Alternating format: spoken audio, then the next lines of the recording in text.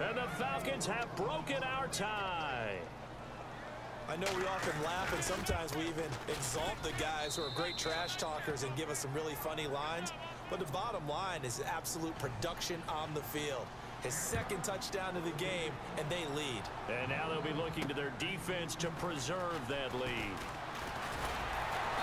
And a nice return sets them up pretty good here at the 30-yard line.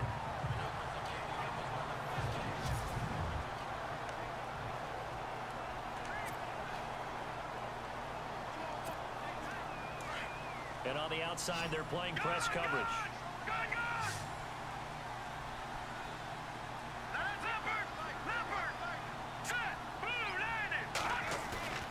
Now Garoppolo on the bootleg. Eluding the pressure right. And he'll be brought down shy of the 40 at the 38-yard line. He'll get eight on the scramble there. It'll be second and a couple. And that was not a bad scramble there on first down. He didn't force it, nor did he throw it away. He was able to take off, and now he made it a very manageable second and short.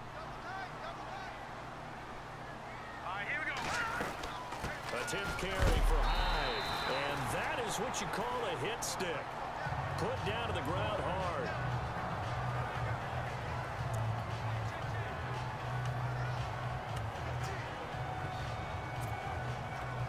So gets them the first, and now they operate with a fresh set of downs.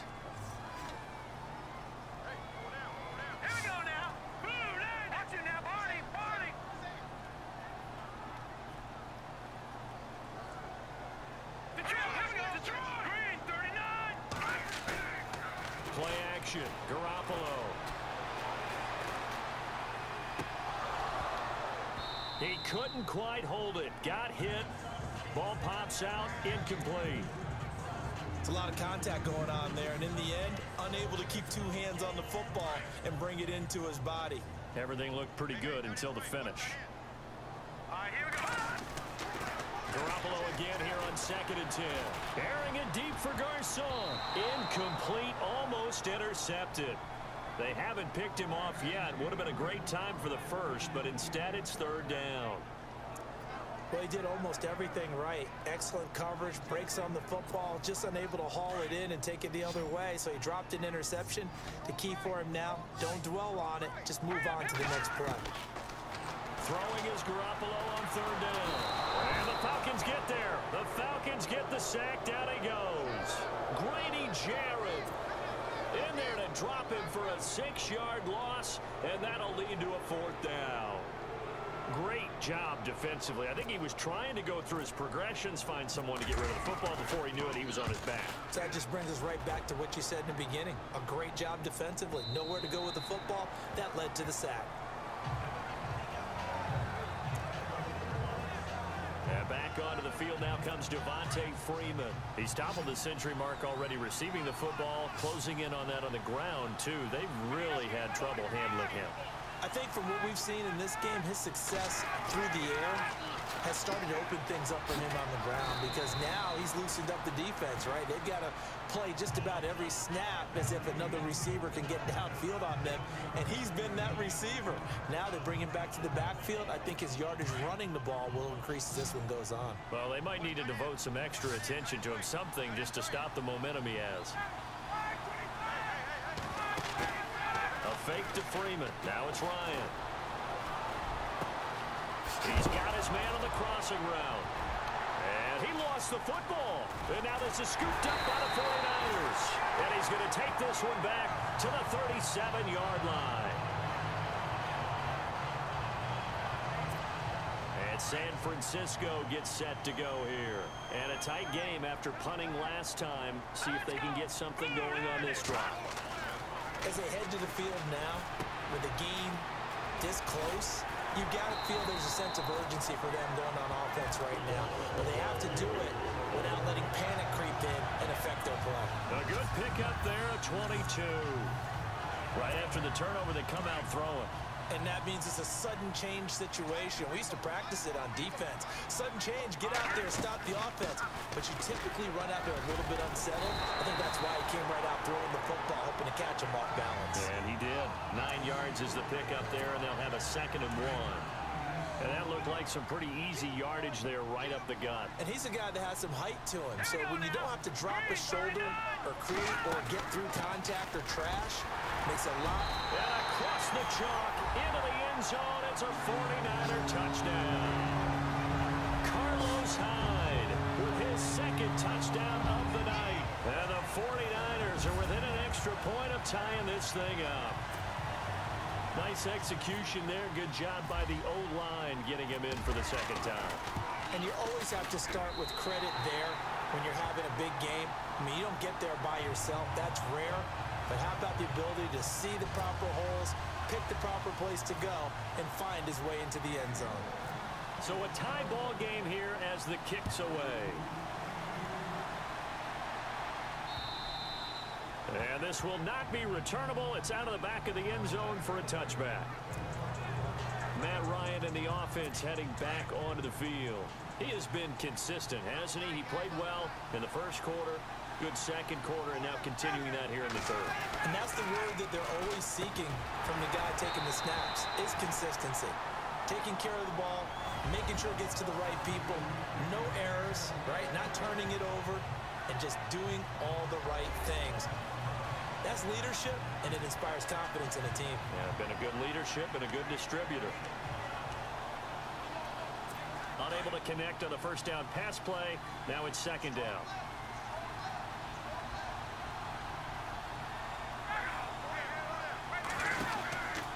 Ryan on the handoff. It's Freeman.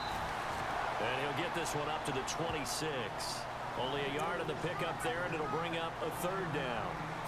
This is what happens sometimes when you abandon the running game. It's hard to get back to it because once guys get out of that mentality of firing out and hitting people, hard to get them started again occasionally. Off the play fake to Freeman. It's Ryan. And he's got Sanu. And he'll be out of bounds up near midfield at the 49. 23 yards on the play.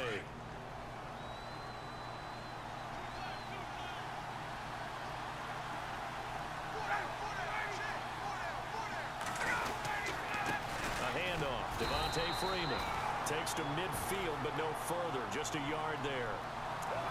Nice job by that defensive front there to hold them to a short gain on first down. Well played, I must say. Yeah, only getting one yard. There was no room to run. From midfield now, here's Ryan. And the hit jarred it loose. It's incomplete. So he can't hang on, and as I watch that unfold, I remembered an expression that I've heard, maybe from you, I don't know, but you're going to get hit anyways, might as well hold on to the ball. Well, you know a coach said that, right? Yeah. Not an actual player. Not a chance at all. Way easier said than done. Ryan hit, and he lost the football.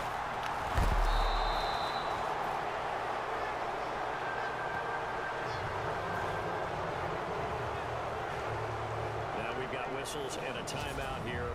Yeah, it looks like we've got a 49er that's down on the field. We'll check on his status when we get back. Here's Matt Bosher now as he's on to punt for the first time tonight.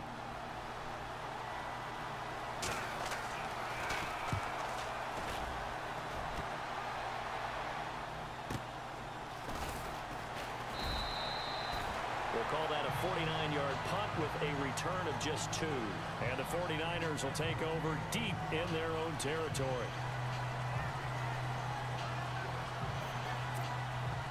San Francisco gets set to go here. The last possession, these guys were able to tie the game with a touchdown. Now they'll have a chance to move out in front. Yeah, let's give a big assist to the defense who got the ball back. The special teams went out there, handled things. They've got it. They've got momentum. I know they're eager to get out there and put it on display. A solid run on first down. Gain of seven leaves them with a second and three. Well, no matter how they phrase it, staying on schedule, staying ahead of the sticks, whatever you want to call it, seven yards on first down, that fits the bill. And oh, he is really laid out that time. Knocked flat on his back at the 13-yard line. I know they've got to be careful not to go to the well too often, but it's a fine line, isn't it? Because sometimes, if you've got success, you want to just keep pounding away. But no success there. They rallied quickly on the defensive end. And a big hit there as he runs into a brick wall. It'll go as a gain of six that time, and it moves the chains as well even as we get ready. Offense comes to the line now, first and 10.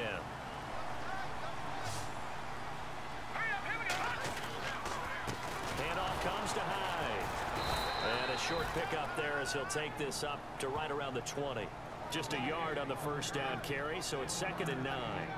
So where'd all that running room that he had in the first half go? Because it looks like it's drying up a little bit here. Someone made some adjustments, it appears, at least on this drive. No, no, no, no. Jack, Patriot, Patriot. They run it again with Hyde. And an alley to run. And heavy contact. He is knocked down hard at the 33. That one goes for 13 yards, and it moves the sticks. Oh, that's one to warm the hearts of all those old school football players, isn't it?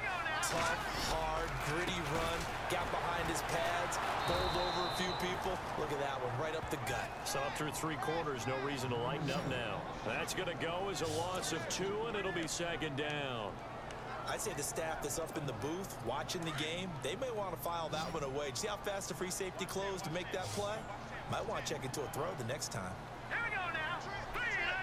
Now they'll throw with Garoppolo. And Brate, the tight end's got it. And able to get this one across the 45 before he's brought down. He got 18 yards out of that one, and it gets him a new set of downs. Tell you what, he's been able to put the ball in some tight spots all game long. That throw, no different. Yeah, a lot of people would call it a gutsy type of a throw. I think he looks at it as, I can do it, so it's not that big of a deal to me, and I'm going to keep firing. Another nice gain, 13 yards that time, and another first down. This has been an up and down, back and forth type of a game, hasn't it? Maybe this long drive, take a little bit of the wind out of their sails, kind of settle things down a little bit. Here we go. Three, 19. Three, 19. Back to the ground. This time it's Hyde. And a short gain there down to the 37-yard line. Just a yard on the pickup there, and it'll bring up a second and nine. And that's why you see a lot of teams that like to play 4-3 defense, especially against teams that run the ball really well. Because you count on your defensive front, the tackles and the ends, to eat up the blocking in the offensive line and keep that guy in the middle clean so he can roam to the football and make a tackle. In this case, he introduced himself and said, hello, my name is Mike. And brought down, but not before they're inside the 25. And a nice carry there of 15 yards. Well, that last run makes this a 100-yard night. I've loved the way he's hit the holes. He's been quick, he's been decisive, and he's been a whole lot of fun to watch. Here's a first down run with Collins. And down inside the 15, shy of the 10. 11 more on that one, and another first down.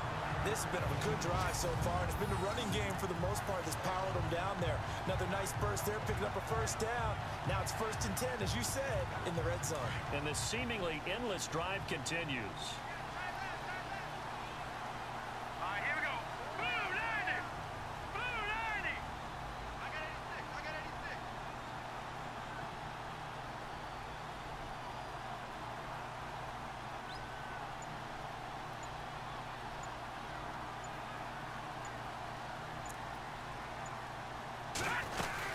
On first, they go right back to Collins. He gets this down to the three, but no further. Brought the power run out of the bag and got a couple extra yards with it. Just what you want on a first down run. Call it eight yards, and it's second and two. Now, what's the thinking here? Because a touchdown would be nice, but you've insured yourself a chance at three in the lead, so how worried are you about the six? You're not very worried about if you're confident in your kicker. And if you got a kicker who can put it through the post, you feel really good about trying to bleed that clock down. In an ideal scenario, your kicker puts it through the post as the clock hits zeros. They'll need to get the play off quickly. Time for a break. Back with more in the NFC Championship game after this. So it's 49er football here as we get you reset. And let's see what they've come up with offensively after having time to talk it over. Lucky 56. Lucky 56. On second down, here's Garoppolo. Looking for Garcon. He's got it. Touchdown 49ers. Pierre Garcon three yards out. And the 49ers have moved out in front. Hey, that score deserves our respect, deserves our excitement. But I'm looking at the clock and I'm thinking there's a long way to go in this one. Ideally, they would have liked to milk a little bit more time off. Now on the other sideline, you start to get the crew together and say, this is what we practiced the two-minute drill for, right? Yeah, you hope you've been in that situation before, and if you haven't, you just have the confidence, hey, let's go down there and get this thing done. But boy, that's a big score right there to give them the advantage. And he'll take this across the 25, a couple extra yards, up to the 27-yard line. Matt Ryan and the offense heading back onto the field. This is something we've seen many times over the course of his career. Can he pull off another fourth quarter comeback? And it's very strange, isn't it? Because when it's a player of this magnitude, even though the guys on defense have the lead and are sitting in the best spot, they're maybe the most nervous people in the stadium because they've seen this happen to too many people before, too many teams. They've got to find a way to shut him down. Here we go again for the grizzled vet. And this one brought in by Sanu. And able to get this one across the 45 before he's brought down. Ryan to Sanu, good for an Atlanta first down. He'll to throw. Hauled in by Wheaton over the middle. And they're able to get this one down to the 25.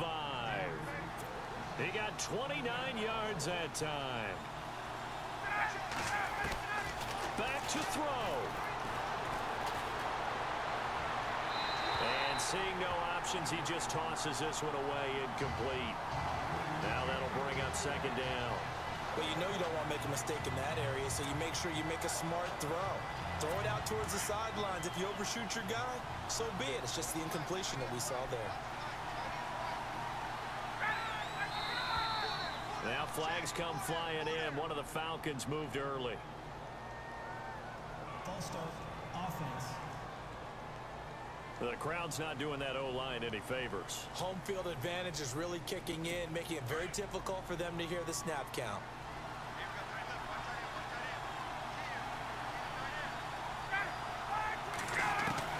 He's back to throw. He goes underneath to Freeman. And he's able to get it down to the 25-yard line. It's a gain of five. And that's going to make it third down and 10. Back to throw. And he's got his man on the out route. And he gets it all the way down inside the 10 to the 5-yard line. They're able to convert on third down, and that sets up a first and goal. They'll look to throw. And too much on that one. It's out of the back of the end zone, incomplete. They may be snapping the ball near the goal line, but all you're thinking defensively, keep them out of the end zone. Force the incompletion, force them into going for three, and not giving up six. Ryan. And it's caught. It's a touchdown. So they rally here in the final minute, and they're an extra point away from tying this game. So getting the big touchdown they needed late in the fourth, now what do you do? You conservative and just tie it up? No, I think you put your practice into game situation. Go as fast as possible. You already have your play call ready to go. Go for two and decide it right now.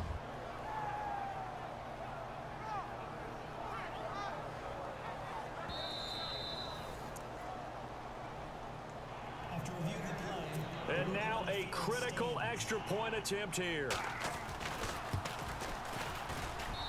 And we are tied here in the fourth quarter. Set to go now with the kickoff. These two teams all even again as we continue in this wild fourth quarter.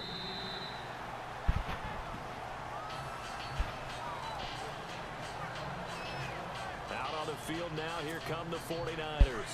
They have a little bit of time here to get into field goal range. Not much. A tie game, you don't want to do anything crazy, right? I agree with you on that one. Risk reward, okay?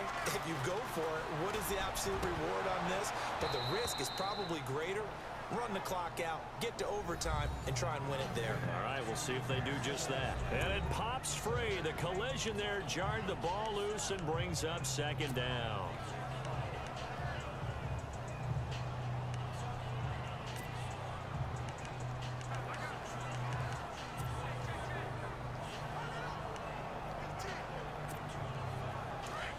Looking to jam the receivers at the line here. Press coverage look defensively. To throw is Garoppolo. And this time he's got the hook up. It's complete. And now we won't see a play on first down. We're going to get a timeout instead. As it'll come with 15 seconds to play in the ball game.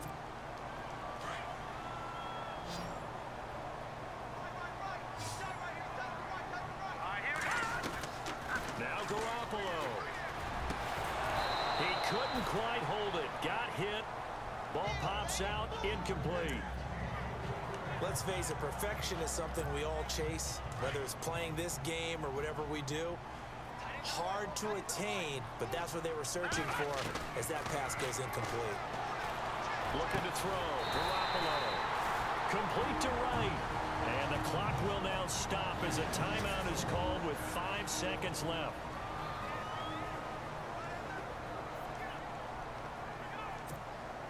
Fresh set of downs here.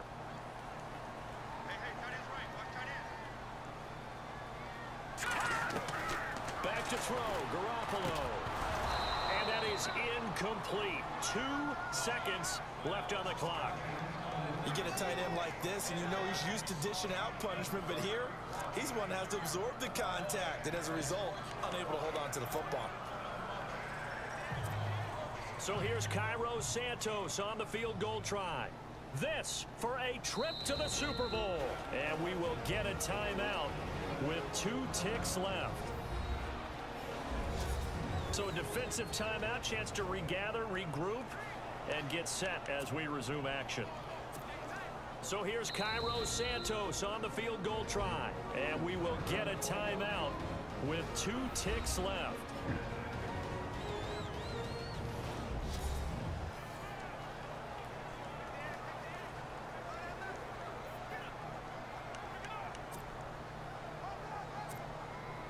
Here's Cairo Santos on the field goal try. This for a trip to the Super Bowl. And I don't think this has the carry. It does not. It's no good. Overtime in a playoff game. Awesome setup. Remember, the rules the same as they would be in the regular season. That's exactly right, Brandon. Remember, the receiving team, if they score a touchdown, game is over. But if they kick a field goal or don't score, the other team gets a chance to get the football. They get a possession. If they go down and score, they win the football game at that point. If both teams kick field goals, we keep playing. If a defense scores, let's say the receiving team gets the ball, doesn't score, or they throw a pick six or fumble, gets picked up, the defense scores, game over. But here's the best part. In the regular season, only one period is played. We could call it a tie. Here, we're going to play until we have a winner. And here now come the Falcons. They're set for their first drive here in overtime. And this is where the crowd can really become a factor. They've had to battle it all day, but I know what you're saying. In overtime, gets double, doesn't it? At least, because now the crowd really wants to be involved and help their team, and that first drive can dictate the whole thing because they know if this team takes it downfield and scores a touchdown, it's game over. It's been loud in here so far.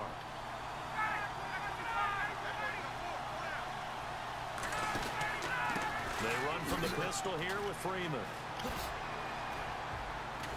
And they get him down, but not before he takes it across the 40-yard line.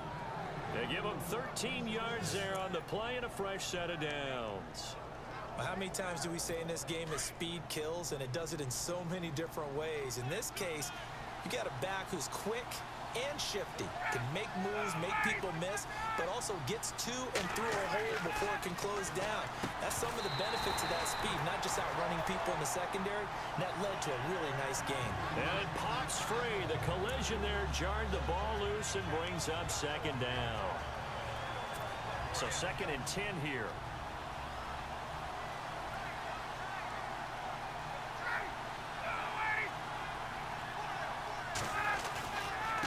Try the left side with Hill and give him about five as he gets this up to the 48-yard line. Well, partner, recent conference championship games that have been needed to decide who goes to the Super Bowl. What do you got? Well, if we go back to 2015, how about Green Bay at Seattle? And it looks like Green Bay's got this thing. Russell Wilson to Jermaine Kearse. That gets it done. And then go back to 2010. We think Brett Favre with the Vikings has the mm-hmm. destiny, but they're in New Orleans. It's the Saints. and they get it done. And in overtime, go on to the Super Bowl. They won that one. They beat the Colts, correct? Yep. A couple of the more memorable ones for sure. Fifth catch of the game for him there. Yeah, and the tight end position is now becoming a volume pass catcher. Used to be occasional, right? Safety valve. Throw one to him every so often, but no, And no escaping this time as he'll go down. They got him for a sack. Xavier Cooper in there to get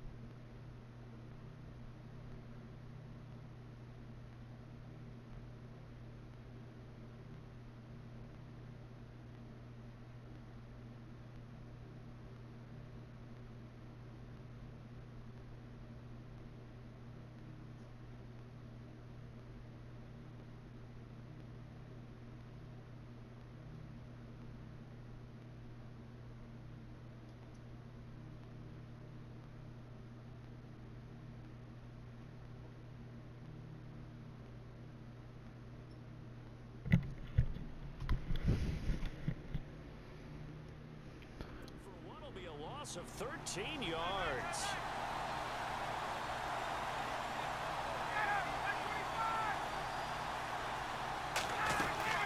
They'll run it now out of the gun. And he's going to fight his way forward here for a modest gain. Give him five yards on the run there, but it'll leave him with a definite third and long on the horizon. You know, Charles, just thinking about it, plenty of recent conference championship games have needed OT to decide who goes to the Super Bowl. And we can go back a little ways, can't we? Go back 2012. Giants in San Francisco. That was an overtime game. The Giants ended up going on to the Super Bowl. How about the one where the Giants went to Green Bay, Lambeau, and beat the magic of that stadium in that freezing, bitterly cold game and got it done there. Yeah, it was 2008. It was absolutely freezing, and they went on to beat the Patriots in the Super Bowl that year.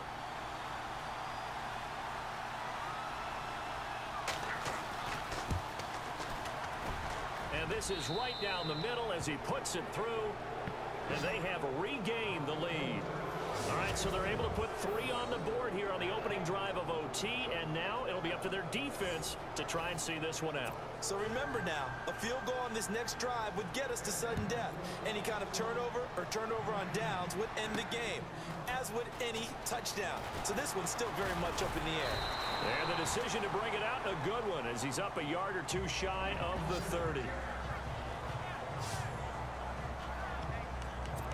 And San Francisco gets set to go here. The field goal would push it to sudden death. We just saw the field goal on the other end, but I don't think they are thinking field goal. At least not to start this drive. They're not thinking field goal. Not at all, because your point is well taken. Yeah, kick the field goal, you push it to sudden death, but you're also kicking off and giving the other team the ball with a chance to kick a field goal and beat you. Get the touchdown, finish the game off. That has to be the mindset. And he gets this one just shy of the 40. They'll mark him down at the 39. Nothing open downfield. He keeps it himself for 11 and a first down. Partner, as a quarterback, sometimes you just got to know when the clock has gone off in your head, it's time to go. Tuck it and get all you can. Throwing now is Garoppolo. And an alley to run. Finding some room at midfield. And he'll be taken down, but not before he gets into enemy territory. A nifty bit of scrambling there. 12 yards, first down.